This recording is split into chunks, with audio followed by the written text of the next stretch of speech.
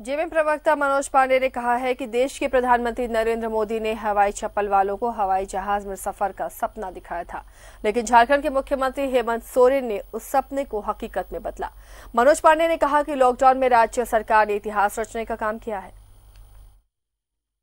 मंत्री जो कर सकता है, उससे भी कहीं बेहतर, जो परफॉर्मेंस है, युवा मुख्यमंत्री माननीय हेमंत जी का, वो सपने नहीं दिखाते, वो सपने को सच करते हैं। वो घोषणाएँ नहीं करते। वो काम करते हैं धरातल पर। हवाई चप्पल वाले, हवाई जहाज़ पर चलेंगे। सुनने में बड़ा अच्छा लगता था। माननीय प्रधानमंत्री ने कहा था।